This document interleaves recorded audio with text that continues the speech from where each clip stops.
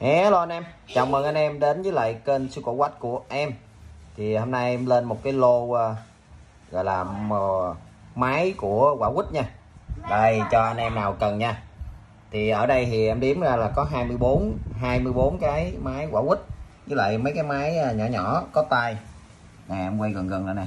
Đa số là hiệu ờ, uh, Westham Engine. Đây.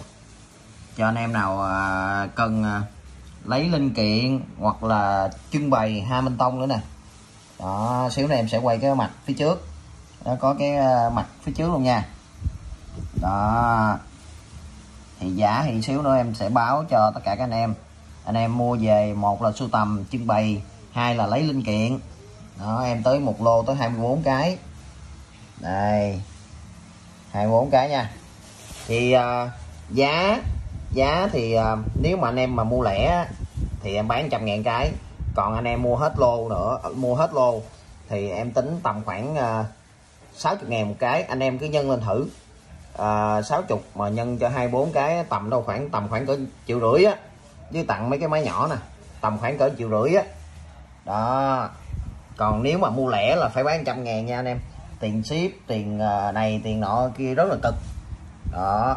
Thì anh em có thể mua về trưng bày hoặc là lấy linh kiện. Rồi để em quay cái mặt phía trước uh, cái ờ, cái cái mấy cái máy này cho anh em mình xem nha. Đây uh, cái mặt uh, phía trước nha anh em. À, đây hiệu uh, Ezin Westham uh, nhiều hiệu lắm rất là nhiều hiệu. Ezin nè Hamilton Ezin Westham đầy đủ hết. Đây mặt uh, Westham uh, bông lúa bông mấy gì tán lạng hết đó rồi. Tặng thêm ờ, bốn cái nhỏ nữa. À, anh em nào chốt lô thì à, một triệu rưỡi tầm khoảng 60 ngàn cái. Còn anh em nào mua mua lẻ một hai cái thì em bán trăm ngàn nha. Tại vì nói chung là tiền ship tiền này tiền nọ rất là cực. Còn bán lô thì khác nha. Rồi anh em nào à, có nhu cầu thì à, cứ liên hệ cho em. Đây em quay chậm lại cái nữa cho anh em mình xem nè. Đây về à, nhiều khi mấy chục ngàn hay trăm ngàn mình về mình lấy một cái linh kiện. Khi mà đang cần linh kiện thì thật sự rất là kiếm rất là cực. Rồi, anh em nào có nhu cầu liên hệ cho em nha.